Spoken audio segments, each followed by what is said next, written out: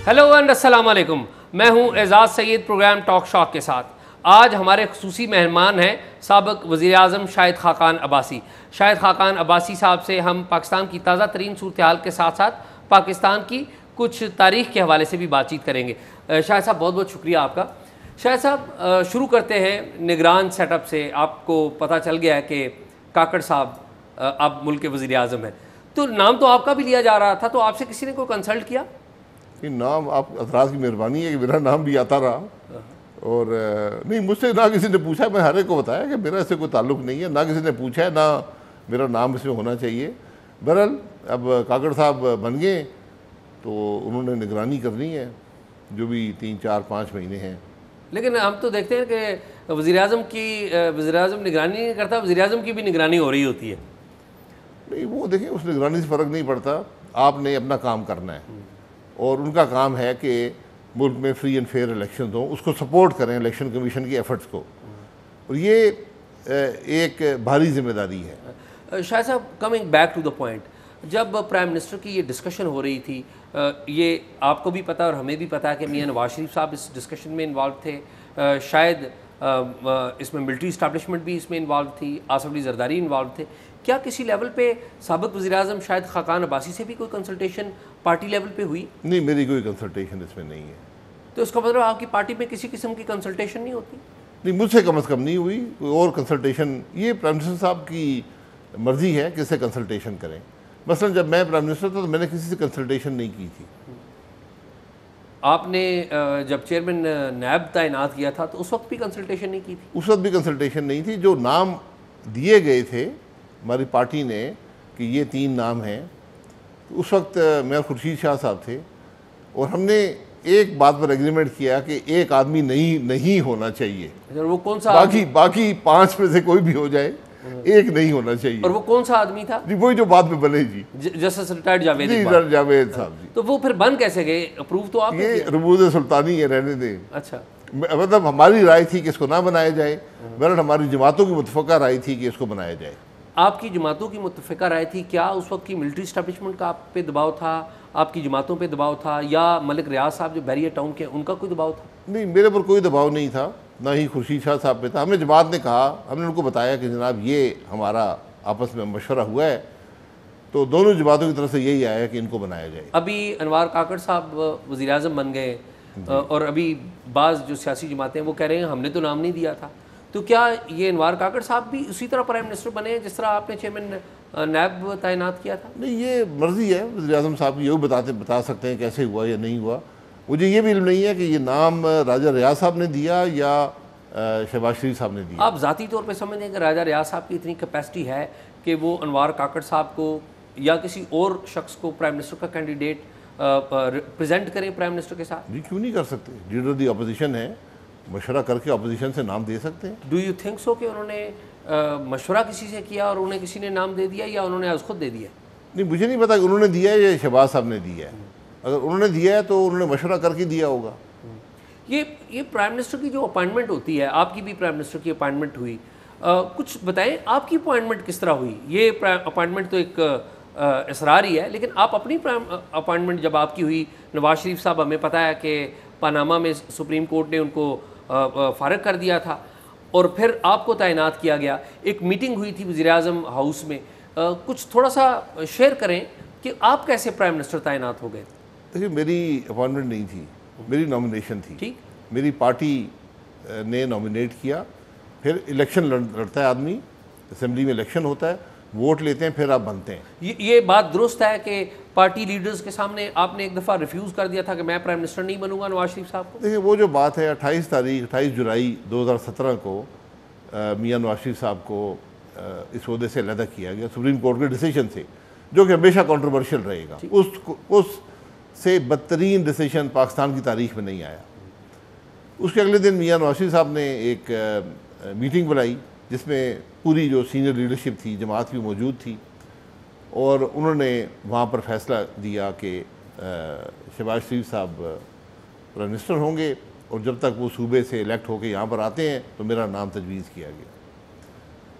बहरहाल मैंने उस राय से इख्तलाफ किया। वो बाकी एक कहानी है जो जो वहाँ अट्ठाईस या तीस लोग बैठे थे वो जानते हैं, वो पब्लिकली डिस्क्लोज करना मुनासिब नहीं है।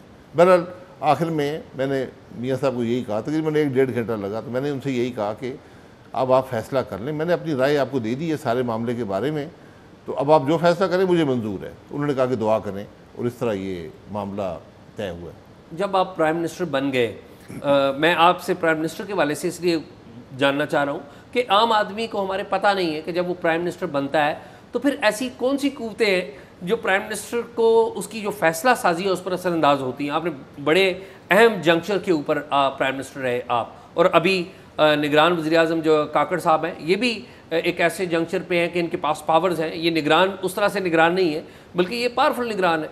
तो आप ये समझते हैं कि जो प्राइम मिनिस्टर है, उसके पास पूरे इख्तियार होते हैं फॉरेन पॉलिसी के हवाले से डिफेंस के हवाले से, और इशूज़ के हवाले से। देखिए, पूरे इख्तियार तो दुनिया में एक ही ज़ात रखती है। लेकिन आपके पास काफ़ी इख्तियार होते हैं अगर आप काम करना चाहें तो। यकीन हमारे मुल्क में जो मामला है वो आइन के मुताबिक नहीं चलता। हमारी एक तारीख है वक्त के साथ तब्दील हो जाएगी। लेकिन आप अगर काम करना चाहें तो काम करने के बेपना मौाक़े वहाँ पर हैं। अगर आपको समझ हो मैंने करना क्या है अगर आप यही कहते हैं इख्तियार नहीं है मैं क्या करूँ फिर आप कोई काम नहीं कर पाएँगे। तो आपके काम में सबसे बड़ी रुकावट आप खुद होते हैं। इस मामले इस, इस सोच से बाहर निकलना पड़ता है। अगर रुकावट है तो हट जाए कोई और काम कर लें। अगर आईनी, आप आइन पे कॉम्प्रोमाइज़ नहीं कर सकते। आप आइनी इख्तरात पे, आप असूलों पे कॉम्प्रोमाइज़ ना करें। लेकिन काम करने की जगह वो है। आप दिन रात काम करें, वो भी काम है। आपकी अनवार काकड़ साहब से भी एक आध मुलाकात है।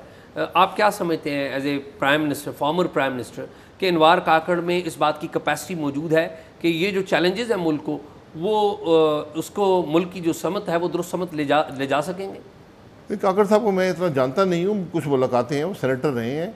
मेरा नहीं ख्याल कि कोई एडमिनिस्ट्रेटिव तजर्बा उनके पास है या इस लेवल की लीडरशिप का तजर्बा है। लेकिन ये आखिरी बात नहीं है। अब उन्होंने उनके पास ये पौधा आ गया, अब उनको काम करना चाहिए।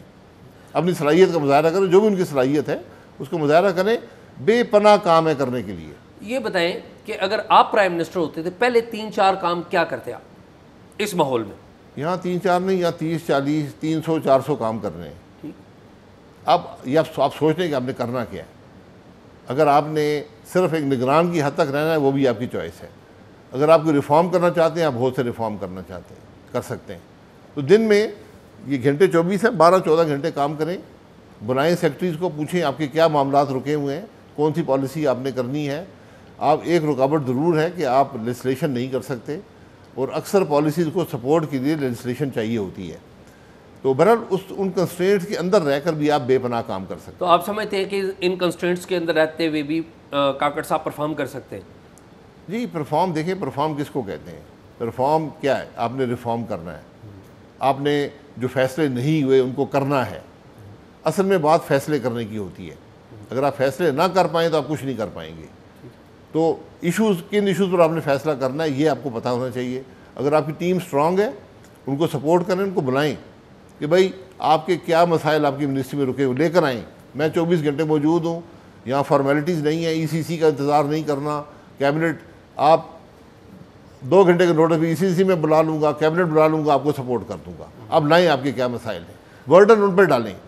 वज़ीर हमारे मुल्क में, उनके पास ना अथॉरिटी होती है, ना रिस्पॉन्सिबिलिटी होती है। इसके बावजूद भी वो काम कर सकते हैं। मैं अनवार कागड़ साहब को ये कहूँगा एक काम कर दें रूल्स ऑफ़ बिज़नेस में तब्दीली कर दें। गवर्नमेंट के रूल्स ऑफ़ गवर्नमेंट के रूल्स ऑफ़ बिज़नेस में। क्या तब्दीली होनी प्रिंसिपल अकाउंटिंग ऑफिसर वज़ीर को बना दें। अच्छा प्रिंसिपल उससे क्या फ़र्क उससे फ़र्क क्या पड़ेगा? उससे फ़र्क ये पड़ेगा कि आपका जो पॉलिटिकल एजेंडा है वो इम्प्लीमेंट होगा। वज़ीर की इख्तियार भी आएँगे रिस्पॉन्सिबिलिटी भी आएगी। आज वज़ीर यही रोते हैं सेक्रेटरी मेरी नहीं सुनता। और हकीकत है कि सेक्रेटरी आज जो हमारी ब्यूरोसी है, उसके अंदर ये कैपेसिटी नहीं है कि वो मामला को हल कर सके। और फिर हर ब्यूरोक्रेट जो है, वो नैब से घबराता है और बजा घबराता है, बिल्कुल सही घबराता है। इसलिए वो उनको इस खौफ से बचाने के लिए कि वो अपना काम कर सकें, ये ज़िम्मेदारी जो वज़ीर है, वो खुद ले कि मैं इस फैसले का ज़िम्मेदार हूँ, मैं ओनरशिप का, कर रहा हूँ, मैं इनिशिएटिव ले रहा हूँ। ये मेरा विजन है, मेरी मेरी कैबिनेट का विजन है, मेरे प्राइम मिनिस्टर का विजन है। अच्छा शायद साहब इस सारे माहौल में जब निगरान सेटअप आ गया हम ये सुन रहे हैं कि नवाज़ शरीफ साहब वो वतन वापस आ रहे हैं शायद सितंबर के तीसरे हफ़्ते में या दूसरे हफ़्ते में। क्या नवाज़ शरीफ साहब की वतन वापसी के हवाले से आपसे कोई कंसल्टेशन हुई है? नहीं मुझसे कोई कंसल्टेशन नहीं मैं जमात का मुद्देदार नहीं हूँ। मैं जमात में लेकिन कोई आप नहीं एक सबक प्राइम मिनिस्टर हैं। ये जमात की मर्ज़ी है मुझसे कंसल्टेशन कर ले या ना करे। लेकिन मैं चूँकि अहदा नहीं रखता ना काबीना में मैं था ना मैं जमात को अहदेदार हूँ। अगर वो कंसल्टेशन करना चाहें तो मैं हाजिर हूँ। माजी में भी जब भी उन्होंने बुलाया है मैं हाजिर रहता हूँ। मरीम नवाज़ साहिबा को जब अभी हाल ही में ज़िम्मेदारी सौंपी गई तो आपके हवाले से एक बड़ी कंट्रोवर्सी चलाने की कोशिश की गई कि शायद आप उनको मानते नहीं हैं। तो क्या रिलेशनशिप है आपकी और मरीम की? क्या मरीम आपसे कोई राय लेती है? कोई मशवरा लेती? नहीं देखिए कंट्रोवर्सी की ज़रूरत नहीं थी। मैंने उस वक्त भी मैंने तकरीबन मैंने कभी पार्टी का अहदा नहीं रखा। मुझे 2019 में पार्टी को अहदा दिया गया, एक ज़िम्मेदारी दी गई। मैंने उस वक्त भी कहा था कि, और मियाँ साहब को, मरियम बीवी दोनों को बता दिया था कि जब भी एक एक लीडरशिप का चेंज जमात में आएगा तो मैं फिर इस अहदे पर नहीं रह सकूँगा। तो जिस दिन ये फैसला हुआ, मैंने एक घंटे के अंदर इस अहदे से इस्तीफ़ा दे दिया था। असूलों की बुनियाद पर कोई नाराज़गी नहीं है, कोई और बात नहीं है। मैं जमात के साथ हूँ, जमात के साथ रहा हूँ और मैंने कहा, मैं हर वक्त मौजूद हूँ आपके लिए। जो भी आप मशवरा करना चाहें मैं कोई काम कर सकूँ मैं उसके लिए हाजिर हूँ। लेकिन मैं जमात का अहदा नहीं रख सकता क्योंकि आगे एक तब्दीली आ गई है। मैं नवाज़ शरीफ साहब का साथी हूँ। आज के नहीं हूँ पैंतीस साल की रफाकत है। तो जब मरीम बीबी अगर आएँगी अभी तो वो पार्टी के सीनियर नायब सदर हैं। अगर वो लीडरशिप पोजीशन में आती हैं तो हमारा मेरा कम अज़ कम वहाँ रहना मुनासिब मैं उसको नहीं समझता। आप समझते हैं कि मरीम नवाज़ में इतनी कैपेसिटी है कि वो पार्टी को आगे लेके जा सकती है? ये तो वक्त बताएगा। देखिए ये किसी में कैपेसिटी लिखी नहीं होती। ये आपकी मेहनत होती है। आप अपने अमल से साबित करते हैं कि हाँ मैं इसके लिए अहलियत रखता हूँ। मियाँ नवाज़ साहब का रोल का आ, की हिस्ट्री आपके सामने है। उनको 1983 में कोई जानता नहीं था। वहाँ से वो आए फाइनेंस मिनिस्टर पंजाब एक नॉन डेमोक्रेटिक गवर्नमेंट में उस वक्त जो जनरल जिलानी साहब की कैबिनेट थी मार्शरा लगा हुआ था।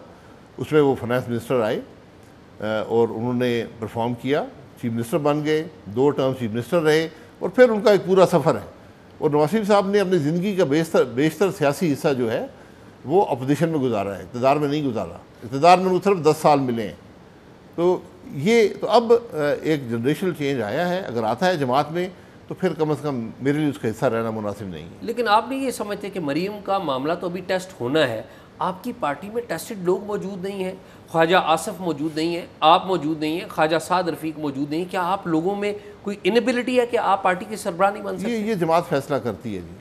जमात फैसला करती है ये ये जमात फैसला करती है ये सिर्फ़ नवाज़ शरीफ साहब या उनकी फैमिली फैसला करती नहीं जो भी है जो भी तरीक़ाकार है हर जमात का अपना तरीक़ाकार होता है लेकिन ये जमात ही फैसला करती है और इसके फिर जो असरात होते हैं वो मुस्बत हों मनफी हों फिर ये जमात ही बर्दाश्त करती है। अच्छा अब ये बताइए कि प्राइम मिनिस्टर शहबाज शरीफ ने अभी 16 माह की हुकूमत की है। आप ज़ाती तौर पे समझते हैं कि उनकी परफॉर्मेंस इतनी अच्छी थी कि उनकी परफॉर्मेंस की बुनियाद पर आप और आपके साथी इलेक्शन में जाएँगे और जीत जाएँगे इलेक्शन? आप क्रिकेट फॉलो करते रहे हैं जी थोड़ा सा। अच्छा हनीफ मोहम्मद साहब याद है आपको? जी बहुत पुरानी बात है। जी। जी सुबह बैटिंग शुरू करते थे तो लंच पे दो रन बने होते थे। और शाम को ग्यारह रन बना के घर चले जाते थे। तो शहबाज सिंह साहब साहब यही ये ट्वेंटी ट्वेंटी का मैच था। शहबाज सिंह साहब ने इसको टेस्ट की तरह खेला है और हनीफ मोहम्मद के स्टाइल में खेला है तो फैसले नहीं हो पाए। मैं मुझे अफसोस है इस बात का कि ये सोलह महीने की हुकूमत में हम बिल्कुल फैसले नहीं कर पाए। तो अब अगर फैसले नहीं कर पाए तो शहबाज शरीफ साहब की परफॉर्मेंस का मुस्लिम लीग नून के ऊपर असर नहीं पड़ेगा जब इलेक्शन में जाएगी? हुकूमत की परफॉर्मेंस का पड़ेगा। हुकूमत की परफॉर्मेंस आवाम की नज़र में दुरुस्त नहीं रही, क्योंकि महँगाई का एक बोझ आया। डॉलर डी वैल्यू हुआ, मुल्क में जो तरक्की की रफ्तार है, वो आज ना होने के बराबर है। आपको बहुत से मुश्किल फ़ैसले करने पड़े। उसका बोझ, अगर ये फैसले ना करते तो मुल्क में क्या होता? वो अवाम ने देखा नहीं है। यकीकत है कि इससे बहुत बुरा होता है। इमरान खान साहब हुकूमत में रहते तो हालात बहुत ख़राब होते। लेकिन अब इस सारे फैसलों का बोझ शहबाज शरीफ साहब पर और इस हुकूमत पर और पाकिस्तान मुस्लिम लीग नून को बर्दाश्त करना पड़ेगा। शायद साहब पाकिस्तान का एक बुनियादी मसला सिविल मिलिट्री इम्बेलेंस है। शहबाज शरीफ साहब आए और उन्होंने आते साथ एक एग्जेक्टिव फैसले के लिए पूरी ब्यूरोसी एक ख़ास इंटेलिजेंस इदारे जिसे आई एस कहते हैं उसके सपुर्द कर दी। क्या ये दुरुस्त फैसला था? देखिए ये फैसले मशावरत से होने चाहिए थे। उनको मशवरा लेते कि ये इसके क्या असरात होंगे। इन इन मामला के मन जब भी आप मशवरा नहीं करते ये वो ऐसी बुनियादी तब्दीलियाँ हैं जिससे हो सकता है कुछ आपको मुस्बत असरात भी मिले लेकिन अगर आप मशवरा नहीं करेंगे तो मनफी असरात होंगे। तो ये फ़ैसले शहबाज साहब ने किए हैं। इस पर वही जवाब दे पा दे पाएँगे कि क्यों किए हैं।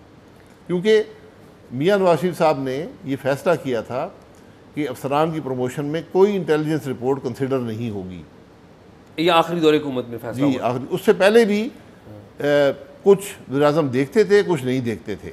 लेकिन उनका एक बड़ा क्लियर फैसला था क्योंकि जब मैं वज़ी बना हूँ तो मुझे ये बताया गया कि उनका ये फैसला था और मैंने उस फैसले को बरकरार रखा कि आई बी आई एस आई, जो मुख्तलिफ़ रिपोर्टें आती हैं, उनके अंदर इतना बायस मौजूद होता है, वो ऑब्जेक्टिव ऑब्जेक्टिव नहीं रहती।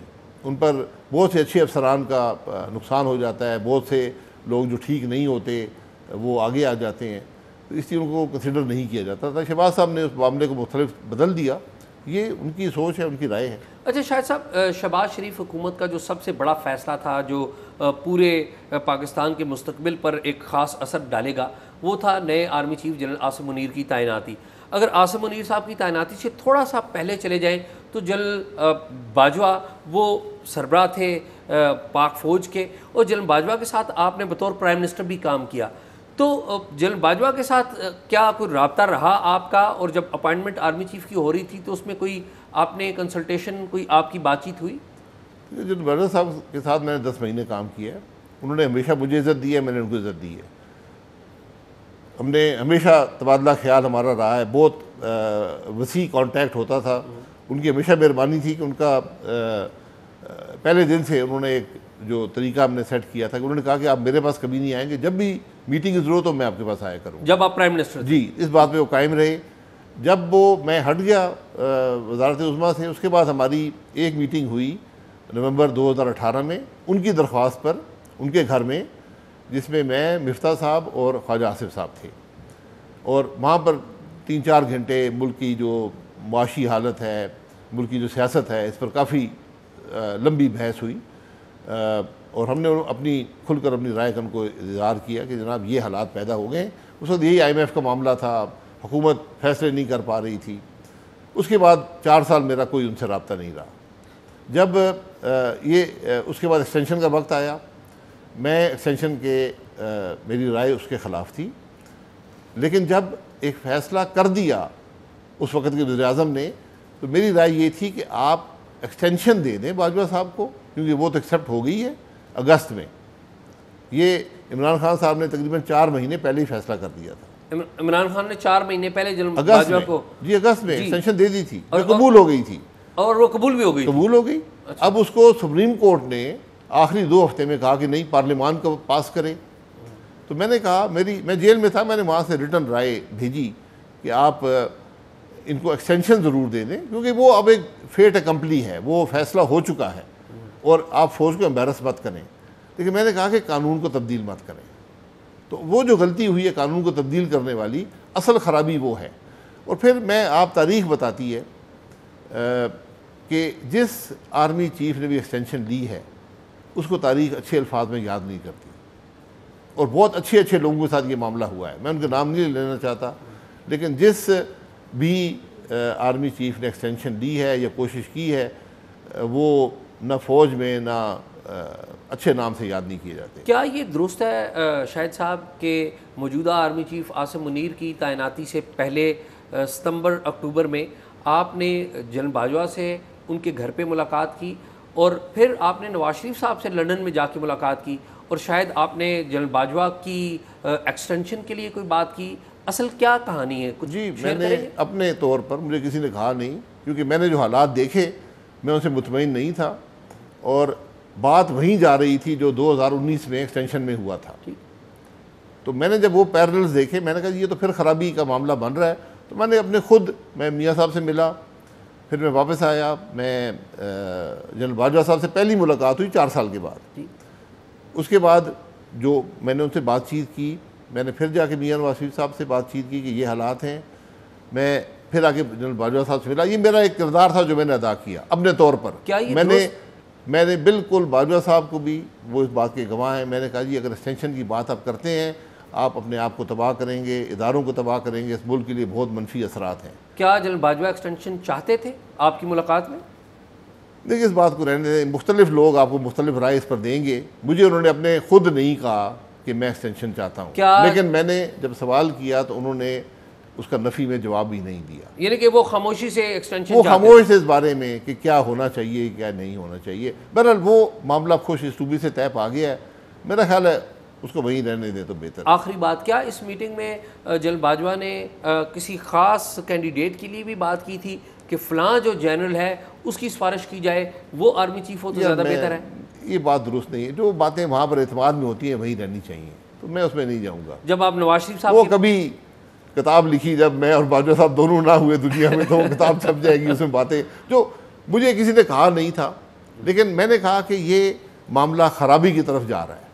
तो मैंने कहा मैं कम अज़ कम अपना रोल अदा कर दूँ और मैं इतना आपसे कह सकता हूँ कि एक बड़ी वाइड सपोर्ट थी बाजवा साहब की एक्सटेंशन के लिए तमाम जमातों में। तमाम जमातों में? तमाम जमातों और जमातें इस वक्त फिर भी राज़ी थी बाजवा साहब को एक्सटेंशन देने की मैंने कहा ना एक सपोर्ट मौजूद थी।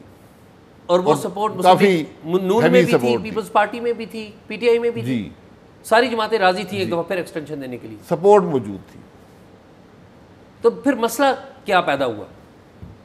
वो भी तारीख आपको बताएगी। क्या ये अगर एक शख्स का आप नाम लेते हैं जो असूलों पर खड़े रहे जो हमेशा एक्सटेंशन के ख़िलाफ़ रहे सिवाय 2019 में मैं मुझे पता नहीं है वहाँ क्या मुहरक़ात हुए वो मियाँ नवाज़ शरीफ साहब थे जिन्होंने हमेशा ये कहा कि एक्सटेंशन जो है वो मुनासिब चीज़ नहीं है। क्या इस दफ़ा वो राज़ी थे कि दोबारा एक्सटेंशन हो जाए? नहीं। जनरल बाजवा को? एक शख्स जो राज़ी नहीं था वो मियाँ नवाज़ शरीफ थे। क्या ये दुरुस्त है कि उस सारे सिनारियों में अहमद नूरानी साहब की एक खबर आई जिसने सारा सिनेरियो चेंज किया? मैंने वो खबर देखी नहीं है। मेरा नहीं ख्याल कि खबरों से फ़र्क पड़ता है। ये अ, बात जो है मियाँ नवाज़ शरीफ साहब के असूलों पर खड़े होने से ये सारा मामला खुश इसलूबी से तय हुआ।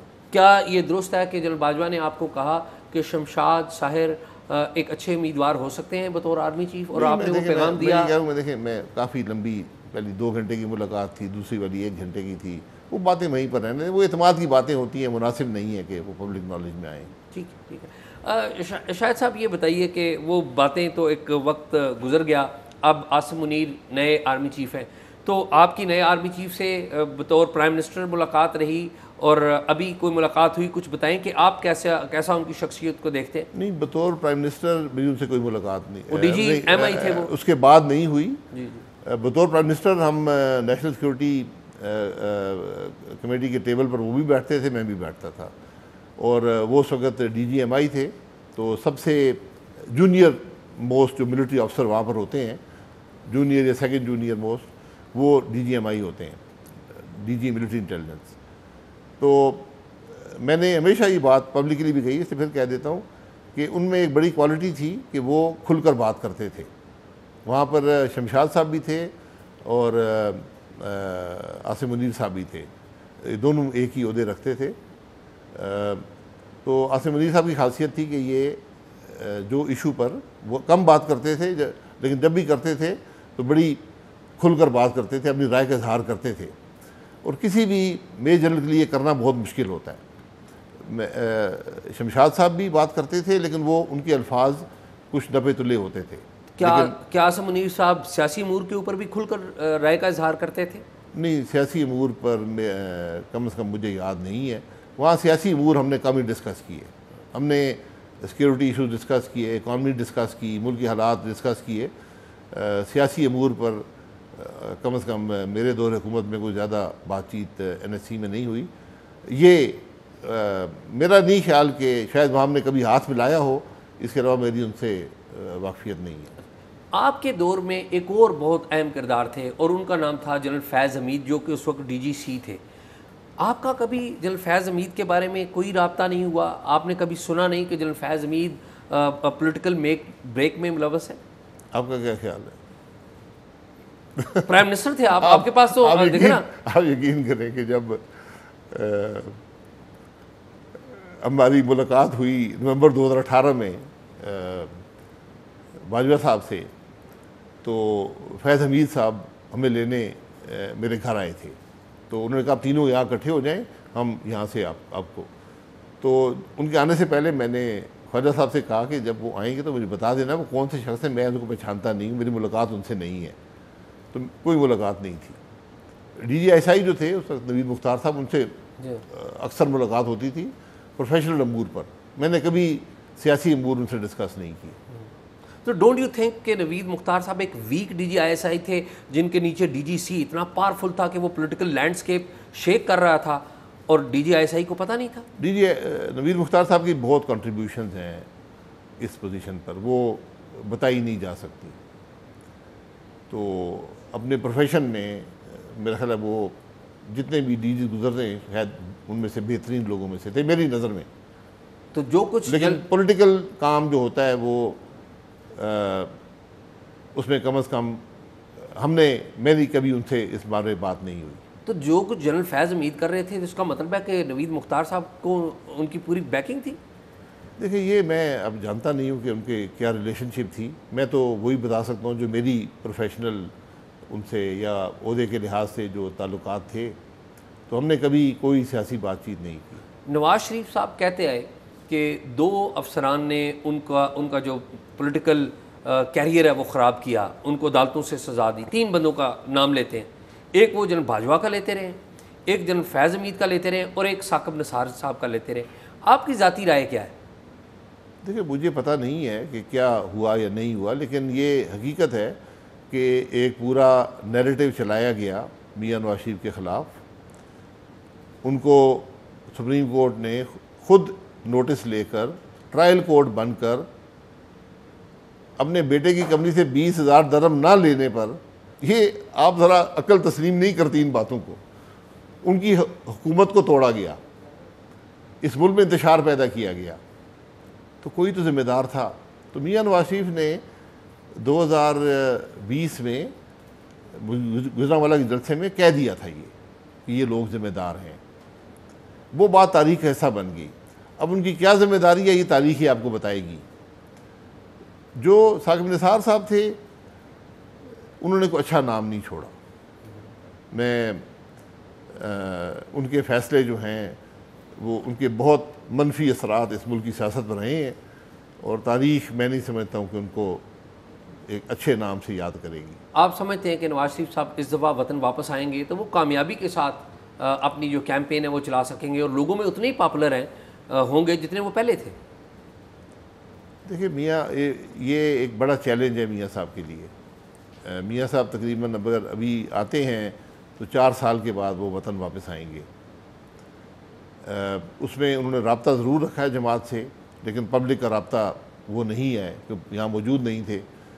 अब वो अगर इलेक्शन के माहौल में आते हैं तो उनको एक बड़ी मेजर कैंपेन में हिस्सा लेना पड़ेगा।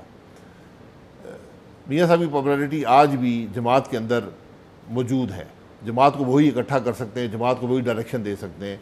बाकी कोई ऐसा लीडर या ऐसा शख्स जमात में नहीं है जो ये काम कर सके। इसलिए उनके लिए बड़ा चैलेंज है। ये जमात उनके नाम से है। पाकिस्तान मुस्लिम लीग नून नवाज़ है। इसलिए ये चैलेंज कि क्या वो उस वोटर को, जो दूसरी जमातों से खुश नहीं है, अपनी तरफ़ ला सकेंगे, ये सबसे बड़ा चैलेंज है उनके लिए। अब उसमें जो हुकूमत की परफॉर्मेंस रही है चार साल की, वो आड़े आती है। अब क्या वोटर जो है, ये वर्कर जो है वर्कर तो को वो एनर्जाइज कर लेंगे। जो वोटर है, वो भी पी एम एल एन का मुझे यकीन है कि उसको एनर्जाइज कर पाएँगे। लेकिन क्या न्यूट्रल वोटर को ला सकेंगे? और क्या उस बोझ का मुकाबला कर सकेंगे? जो इस हुकूमत ने पी एम एल एन के लिए जो पोलिटिकल बोझ पैदा किया है उसका मुकाबला करना ये बहुत बड़ा चैलेंज है उनके लिए। और मैं समझता हूँ उनकी ज़िंदगी का सबसे बड़ा चैलेंज होगा। यानी कि टेक्निकली आप इस बात को एडमिट करते हैं कि उनके भाई शबाज शरीफ साहब की पुअर परफॉर्मेंस का नवाज़ शरीफ साहब के ऊपर भी एक असर पड़ेगा। देखिए पुअर परफॉर्मेंस ये तो लोग ही जज करेंगे ना लेकिन चूँकि फ़ैसले उस रफ्तार से नहीं हुए या वो फैसले नहीं हुए जो होने चाहिए थे आप आवाम को कोई बेहतरी की तरफ़ नहीं ला सके रिफॉर्म नहीं कर सके तो ये चीज़ें ज़रा काफ़ी बोझ बन जाती हैं पोलिंग स्टेशन पर। मसलन मैं आपको एक छोटी सी बात बता दूँ। ये छोटी नहीं है, बात बड़ी बन जाती है। पेट्रोल की कीमतें। मैंने बारहा उनको समझाया पूरी काबीना को, जब सरान थे, वज़ीर साहब को, कि आपके इसमें कोई अमल दखल नहीं है। ग्यारह प्राइस एलिमेंट्स होते हैं जो पेट्रोल की प्राइस मुकर करते हैं। उसमें से नो मार्केट डिटरमिन करती है। दसवां जीएसटी होता है जीएसटी ज़ीरो है। ग्यारहवा जो पेट्रोलियम डेवलपमेंट लेवी पीडीएल है, वो अपने पचास रुपये कर दी है। इसके बाद आपका कोई रोल नहीं है इस प्राइस की डिटर्मिनेशन में। तो मैंने कहा, इस काम से बाहर निकल जाएँ। डीरेगुलेट कर दें, सारा निज़ाम बन गया, लेकिन हमने डीरेगुलेट नहीं किया। हम फिर भी कीमतों के अंदर इंटरफियर करते थे और कीमतों को अनाउंस करने में खुशी महसूस करते थे। वो खुशी कुछ गम में तब्दील हो गई जब हमें अपने आखिरी दिन बीस रुपये कीमत बढ़ानी पड़ी। आज भी शायद आपको दस, पंद्रह, बीस रुपये बढ़ानी पड़ेगी। ये मार्केट डिटर्मिन कर रही है। तो ये बात अगर हमें समझ आए कि हमारा इससे ताल्लुक़ नहीं है, जो मार्केट डिटर्मिन करेगी वही आप आवाम को पे करना पड़ेगा। तो इस एतबार से तो शबाज शरीफ साहब के साथ इसहाक डार साहब जो कि नवाज़ शरीफ साहब के समधी हैं उनकी परफॉर्मेंस भी ख़राब रही। देखिए परफॉर्मेंस कैबिनेट की देखी जाती है अशास की नहीं देखी जाती। ज़िम्मेदारी प्राइम मिनिस्टर को कबूल करनी पड़ती है। वज़ीर वो ख़ुद लगाते हैं वज़ीर की परफॉर्मेंस अच्छी हो बुरी हो उसका असर उन पर पड़ता है। इसलिए ये फैसले उनके ही थे उनको ही अब उसका अगर इसहाक डार साहब ने अच्छे काम किए हैं तो फ़ायदा उनको मिलेगा। शहबाज साहब को अगर उनसे परफॉर्मेंस ठीक नहीं रही तो उसका असर भी शहबाज साहब पर और जमात पर पड़ेगा। मफ्ता इसमाइल को वजारत ख़जाना के कलमदान से हटा कर इसहाक डार साहब को उधर लगाना क्या एक वाइज फैसला था? ये प्राइम मिनिस्टर का फैसला है। वाइज हो या ना हो वक्त बताएगा। अगर आप मुझसे पूछेंगे कि वो वाइज था मैं नहीं समझता हूँ। मैं समझता था कि एक शख्स काम कर रहा है उसको चलने दें। लेकिन ये प्रोरागेटिव जो होता है प्राइम मिनिस्टर का वही फिर उसके मैंने कहा कि मनफी या मुस्बत असरात के ज़िम्मेदार होते हैं। इमरान खान के साथ जो कुछ हो रहा है बतौर prime minister former prime minister आप समझते हैं कि जो कुछ इमरान खान के साथ हो रहा है बिल्कुल ठीक हो रहा है? देखिए ये ठीक हो रहा है गलत हो रहा है। बात यह है कि अगर आपने कानून तोड़ा है तो आपको प्रोसिक्यूट करना हुकूमत की ज़िम्मेदारी है चाहे वजी अजम हों। प्रोसिक्यूशन के ना मैं हक में हूँ ना कभी ये काम आई है किसी के। हम सबने प्रोसिक्यूट करने की कोशिश की है। और इस मुल्क में अगर किसी वजी अजम ने प्रोसिक्यूट किया है लोगों को उसका नाम इमरान खान है जिसने खुल्लम खुला नो डाउट वज़ीर मुकर किए हुए थे। आप कभी पूछें जो नैब के चेयरमैन थे अगर वो सच बयान कर दें जो को लोगों के सामने वो करते हैं कि प्राइम मिनिस्टर क्या क्या उनको बातें करता था और कैसे करता था तो आप हैरान हो जाएँगे। एक आदमी, मेरा ख्याल इमरान खान साहब ने जिस चीज़ पर अपनी वजारत उस्मा में सबसे ज़्यादा टाइम सर्व किया, वो ये था कि किसको अंदर करूँ, किसको बाहर करूँ। बाकी काम उनके लिए सेकेंडरी थे। और वो इसका फ़ख्र महसूस करते थे, बातें करते थे, जलसों में, तकरीरों में, मैंने आज ये कर दिया, फलाने को अंदर कर दिया। ये कुछ मुकाफात अमल भी बदकस्मती से, ज़िंदगी का हिस्सा होता है। इस तकबर में नहीं आना चाहिए। लेकिन एट दी सेम टाइम आप नहीं समझते कि इमरान खान की जो पॉपुलरिटी ग्राफ है, वो भी ऊपर जा रहा है। पॉपुलरिटी देखें पॉपुलरिटी वक्ती होती है। पॉपुलरिटी मिसकनसप्शन पे बेस्ड होती है। परफॉर्मेंस बेस्ड तो इमरान खान से जो आज उनको कोई वोटर नहीं होना चाहिए था। जो उस आदमी ने तीन साल, आठ महीने मुल्क की, मुल्क के साथ किया है, मुल्क के की मीशत के साथ किया है, जो माशरती तौर पर जो ख़राबियाँ पैदा की हैं, जो दूर करना बहुत मुश्किल होगा। जिस तरह पार्लिमान को मफलूज किया ये बदकस्मती है बहरहाल पॉपुलैरिटी आपको पोलिंग स्टेशन पर ही मिलेगी। तो आप ये समझते हैं कि इमरान खान अगले आम इंतबात में आपको नज़र आ रहे हैं कि वो कॉन्टेस्ट करेंगे उनकी जमात कॉन्टेस्ट करेगी? देखिए मैं इसके बारे में नहीं कहता जमात मौजूद है इलेक्शन शेड्यूल अनाउंस होगा वो बिल्कुल हिस्सा ले सकते हैं कोई रोक नहीं सकता। और आप समझते हैं उनके सामने कोई चैलेंज नहीं चैलेंजेस हैं चैलेंज क्यों नहीं है? उनको अपनी क्रेडिबिलिटी का लोग पूछेंगे आपने क्या किया था? ये सवाल होंगे। सिर्फ़ ये बात नहीं है कि जो अगर ये हुकूमत डिलीवर नहीं कर पाई या इसने बोझ बर्दाश्त किया है तो उनके सब गुनाह धुल जाएँगे। ये अब मैं बार बार कहता हूँ, खराबी कहाँ से पैदा हुई? जो आज जो मुल्क के हालात हैं, इसकी ज़िम्मेदारी 2018 के इलेक्शन की चोरी है।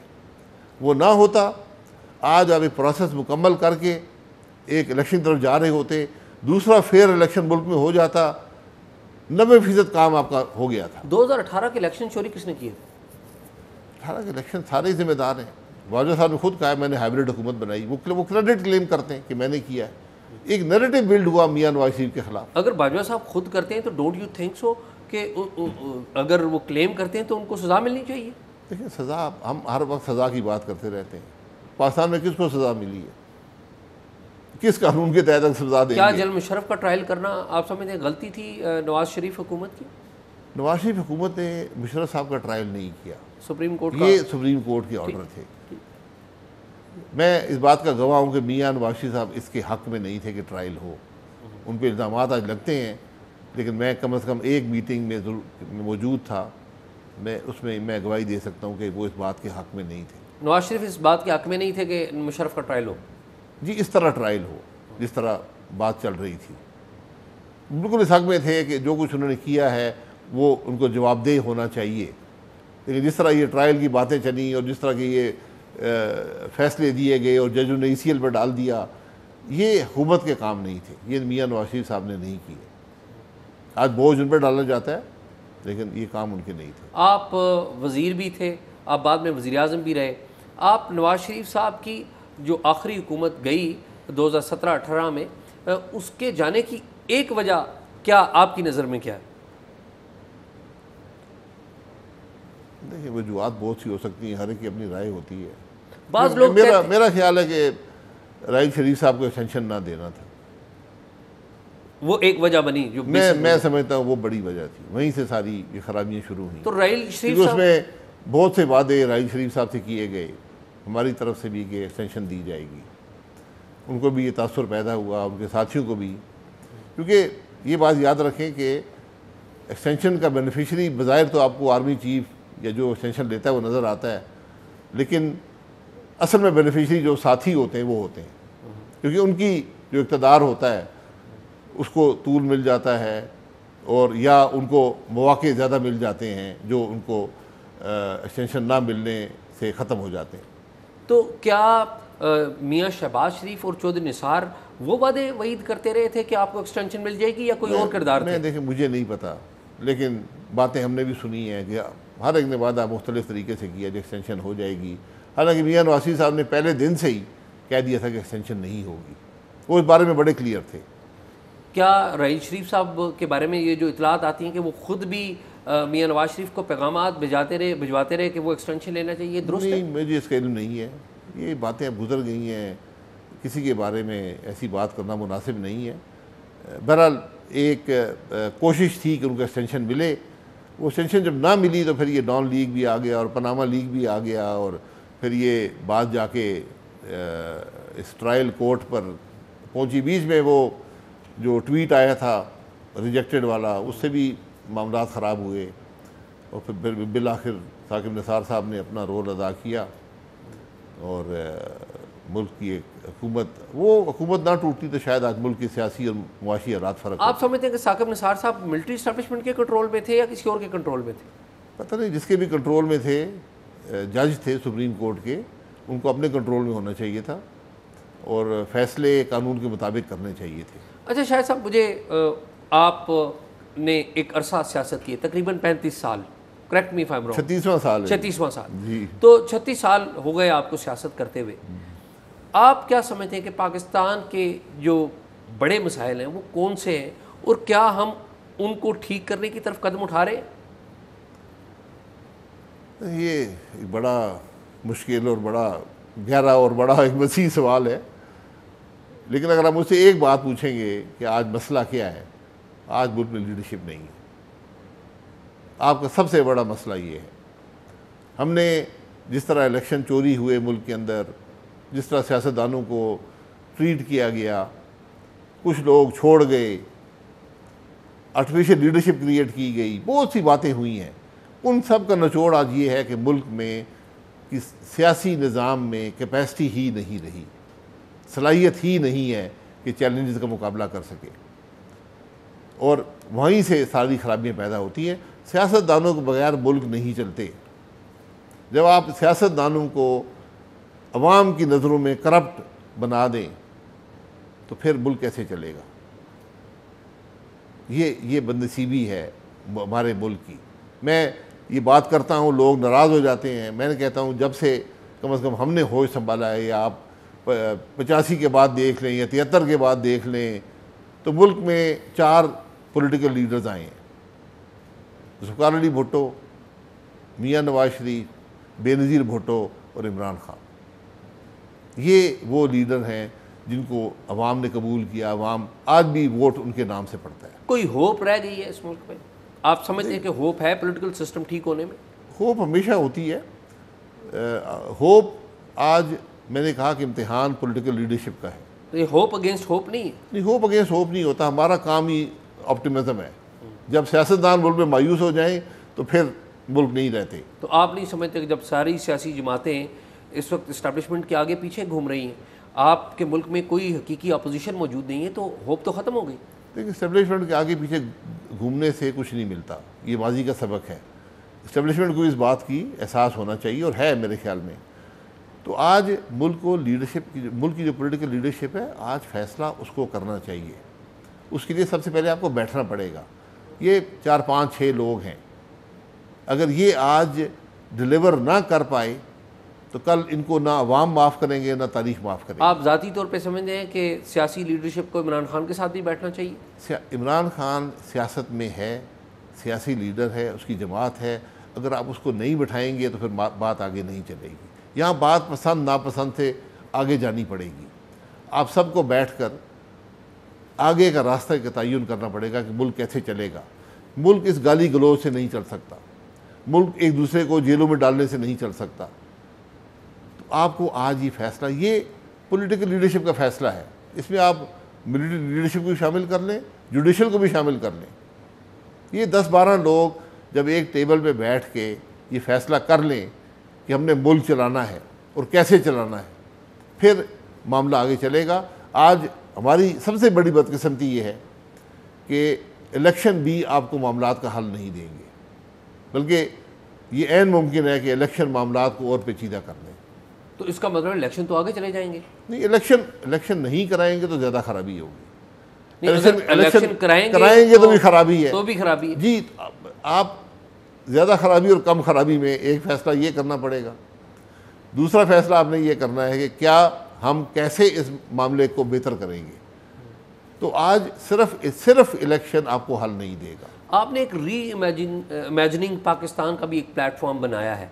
तो आप इस प्लेटफॉर्म पे इन तमाम लोगों को दावत देने के लिए कोई कोशिश कर रहे हैं? नहीं, हमारा ये काम नहीं है। हमने तो सिर्फ़ ये निशानदेही की कि आज निज़ाम में सलाहियत नहीं रही।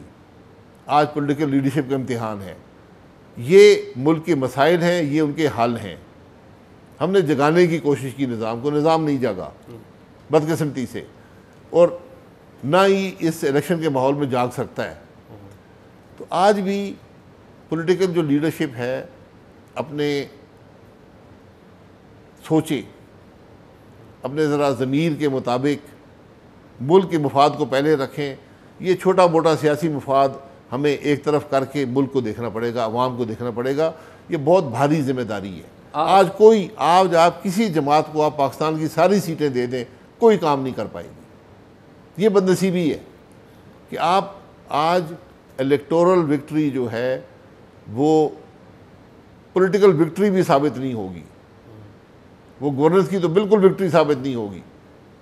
जब तक आप बैठकर आगे के रास्ते का तयन नहीं करेंगे उस पर फिर चलेंगे नहीं। अच्छा शायद साहब आप ये बताइए कि ज़ाती तौर पे आप समझते हैं कि इस्टेब्लिशमेंट न्यूट्रल है? इस्टेब्लिशमेंट पाकिस्तान में कभी न्यूट्रल नहीं हुई। इस्टेब्लिशमेंट मैं उनकी नीयत पर शुबा नहीं करता। मैंने बहुत से आर्मी चीफ देखे बड़ी नीयती से काम करते हैं। उनकी कोशिश, सलाहियत भी उस तरफ़ जाती है। लेकिन सियासी निज़ाम, मुझे छत्तीस साल हो गए सियासत में, आज भी सीख रहा हूँ। तो अगर आप एक निज़ाम से आएँगे जो जिसका सियासत से ताल्लुक़ नहीं है तो आप आखिरी तीन या छः साल में क्या सीख पाएँगे? इसलिए ये सारा निज़ाम, इसलिए आइन बनते हैं कि आप सारे मिल कर काम करें और मुल्क के निज़ाम को आगे लेकर जाएँ। अभी आइन के मुताबिक तो मुल्क में कुछ भी नहीं हो रहा। क्या दोबारा हम 1970 वाली किसी सिचुएशन की तरफ़ जा रहे हैं? देखिए, सिर्फ़ आइन के अल्फाज को मत पढ़ा करें। आइन एक स्पिरिट का डॉक्यूमेंट है। उस स्पिरिट का डॉक्यूमेंट का मकसद ये है कि हम मुल्क के मामला को तय करें। अब उस तरफ़ जब ये सोच आपकी होगी तो फिर आपको हल नज़र आ जाएगा। इसीलिए मैं कह रहा हूँ कि आज सबकी ज़िम्मेदारी है। कोई आइन आपको मना नहीं करता कि इस मुल्क की पॉलिटिकल लीडरशिप मिलिट्री लीडरशिप और जुडिशल लीडरशिप एक टेबल में बैठकर मुल्क के मसाइल को हल ना करे। ये आइन आइन इसको इनक्रेज करता है। लेकिन हम समझते हैं कि पता नहीं हम आइन तोड़ रहे हैं ये बात हो जाएगी या आइन आइन का मकसद ये है कि अवाम की फलाह हो। उसके पहले अल्फाज पढ़ लें। तो जब आप कोई अमल ऐसा करेंगे जो आइन की रूह के मुताबिक हो और मामला को तय करे उससे बेहतर हल कोई नहीं है। बहुत बहुत शुक्रिया शुक्रिया